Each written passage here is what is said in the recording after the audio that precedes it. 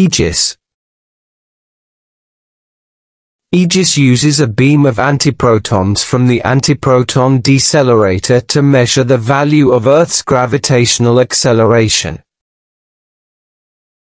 The primary scientific goal of the antihydrogen experiment, gravity, interferometry, spectroscopy, Aegis, is the direct measurement of the Earth's gravitational acceleration, g, on antihydrogen. Aegis is a collaboration of physicists from a number of countries in Europe and from India.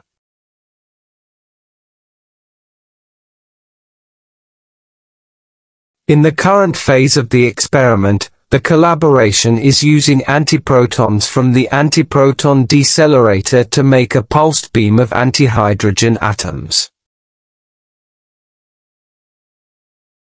They will then pass the antihydrogen beam through an instrument called a Moire deflectometer coupled to a position-sensitive detector to aim to measure the strength of the gravitational interaction between matter and antimatter to a precision of 1%.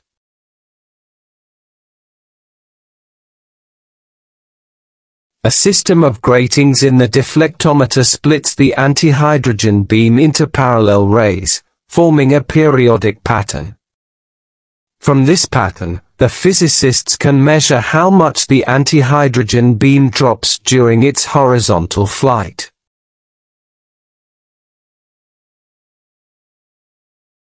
Combining this shift with the time each atom takes to fly and fall, the Aegis team can then determine the strength of the gravitational force between Earth and the antihydrogen atoms.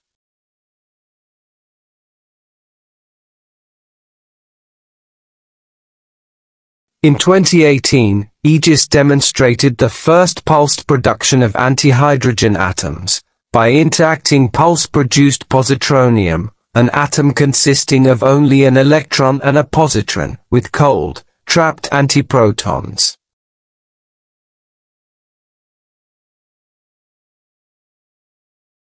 This was a necessary step towards the required pulsed beam of antihydrogen and also opens the door to other physics topics, which build on forming beams of pulse-produced positronium and also pulse-produced antiprotonic atoms, where the orbiting electron of an atom is replaced by an antiproton.